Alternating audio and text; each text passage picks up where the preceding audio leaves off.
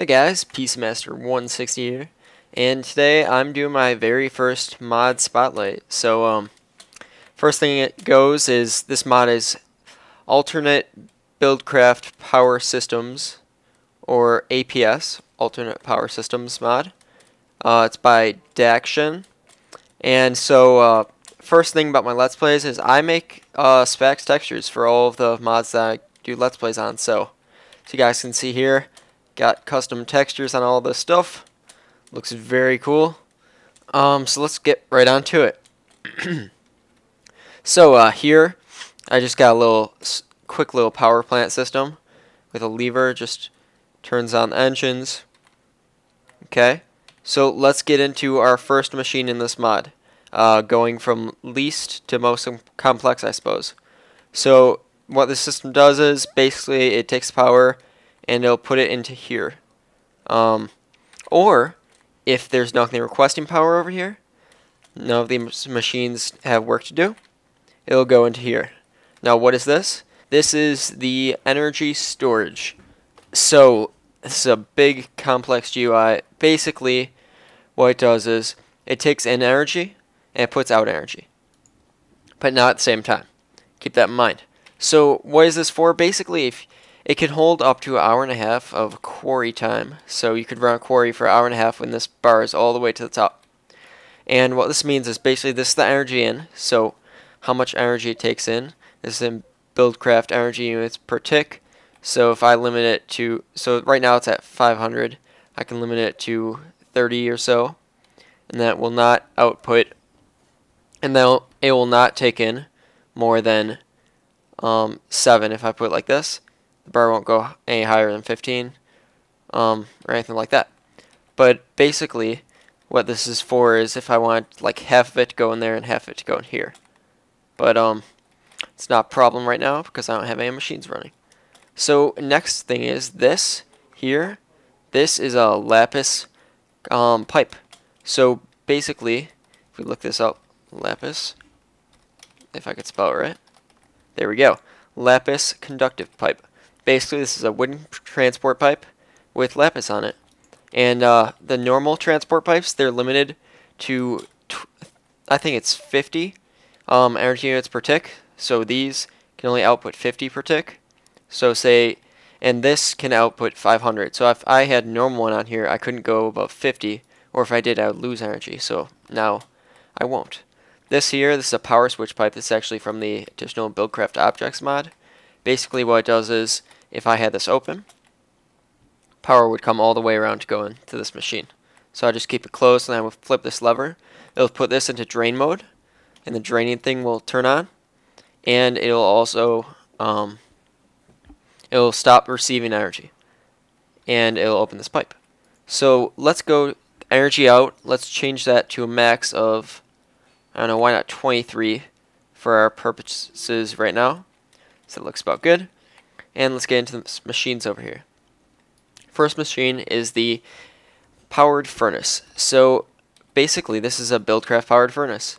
So if I drain out a slight bit of my power, let's do even less so I just conserve it slightly. Um, actually let's keep it on 15 and I'm just going to use engine power right now. So I got a couple items here just to smelt to show you guys that it works like a normal furnace. So basically I can put, say, wood in, and it'll slowly drain out energy and produce charcoal. So it's very cool. It actually uses the same amount of energy that normal furnace would use. Like it's got the same rate. It just, uh, it can be faster if you have more power. And it can smelt all these ores and everything. So more power you give it, the faster it goes. Pretty cool. And there's no machine like this without this mod, so it's very cool. So let's just throw this stuff out. And next machine. This is the grinder. This grinder is really cool machine. I got some things in here. So first off, it basically what it does is it grinds down things into other things, if that makes any sense. So let's say, and it's got a bunch of recipes. So if I put some gravel in it, it says one flint, 100%, and you caught that there, and then watch what will pop in this chest. Flint. So it will make one flint per gravel as it shown on the right side. Now what if I put some stone in here? If looks says one iron ingot, 20%, one redstone, 0.5, I mean 2%, one redstone 0.5%. So basically that's the percent chance that has for grind down. It's just plain stone into iron and redstone. So very, it's basically this machine made to uh, dump out your extra resources. If you attach pipe to it, it'll pipe it over. If you, it'll just spit it right out if you don't. Um, but it's really nice for grinding down resources. it's going pretty slow because actually it's out of power. So let's go fix this right here. Let's put this down to 7. Energy out. And now it's flowing out. And if you see this bar here, if I can click it, there we go. It'll fill up with the energy that's pointing out. So let's just keep it up with uh, 7 here. And it looks like I don't have any more work to do. So let's put more, some dirt in here. Why not? Yes, you can see dirt can go into cobble, stone, coal, and iron. So small chance of all that. But I mean, it's than nothing. Look at all the cobble it's producing. And then that cobble can be used to produce more things, such as coal, iron, and redstone. It's got a slightly higher chance, about the same as stone, I think. This is very cool. And look how fast it's going, because I'm giving it 7 energy units per tick. So, very powerful thing. You see, if coal just came out, there's some more coal. So, slight chance, but it's better than nothing. Yeah, it's a nice thing to do with your other ores. Also, you can put uh, sandstone in here. Look what you get. You get 4 sand for each sandstone. So, uh, basically ungrinds your sandstone. So, that's very cool. If you look at all the sand we're getting from this. So, that's a very nice little thing that isn't in anywhere else. Also, we're, when playing something interesting you get, so you get 5 sticks. Normally you would get four, but you actually get more sticks for putting it in this machine. So that's a nice little benefit right there. And bricks, you don't, uh, bricks, you get four bricks from it. So turns normal bricks into four raw bricks. So very cool machine.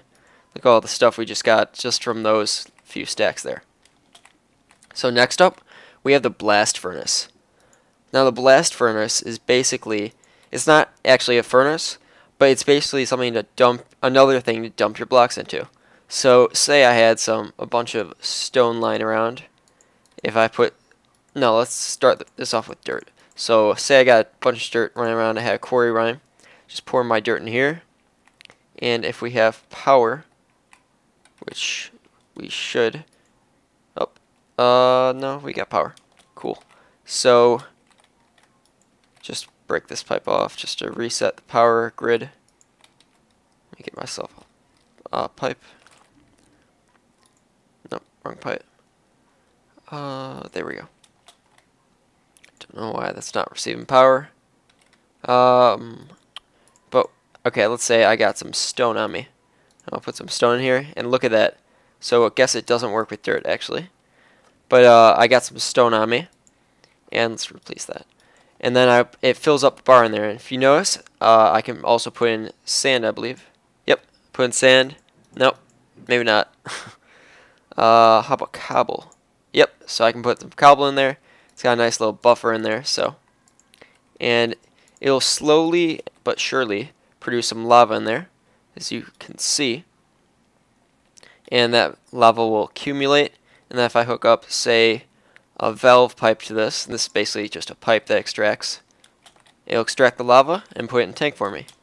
Um, this and then what do I do with this lava? Well, I can use this in a geothermal generator in industrial craft, or to make industrial craft energy, or I can put it in the mineral extractor. So as you can see here, it's got the same thing as the normal extractor, or the grinder. Uh, basically, it's got a 5% chance iron, 2% chance redstone, 1.5% chance obsidian, slight chance of gold and diamonds. So it's really cool. Basically, just flip this lever and the lava will pipe into it. And then if it gets power, which it is now, it'll have a slight chance to produce um, all of this stuff. So it's very cool. Let me uh, actually just break this connection here. So like that. And then all of our power is actually going to here. So this thing uses a bunch of power. I can actually turn up the power if I want to. Like just going like this, uh, let's do 30. Let's give it 30 energy units per tick. And look at that green bar go. So it's using up all the lava really fast. And it's trying to produce some items. And Uh, it might have actually produced items.